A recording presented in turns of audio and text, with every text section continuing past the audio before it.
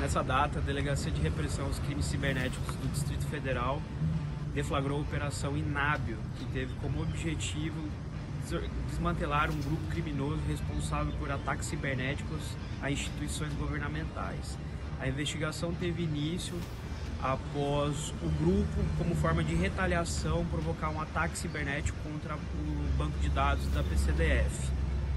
A investigação prosseguiu e foram identificados dois autores. Hoje foram cumpridos mandados de buscas na cidade de Jundiaí e Penalva, interior do Maranhão. A PCDF contou com o apoio da Polícia Civil do Maranhão e da Polícia Civil de São Paulo. É, obtivemos o êxito em prender o líder do, desse grupo criminoso.